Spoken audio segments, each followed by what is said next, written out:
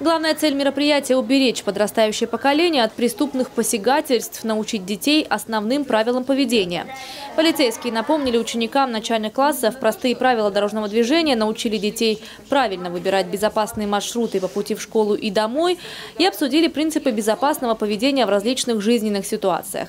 Инспектор напомнила ребятам, что нельзя открывать двери незнакомым людям, разговаривать с ними и тем более садиться к ним в автомобиль.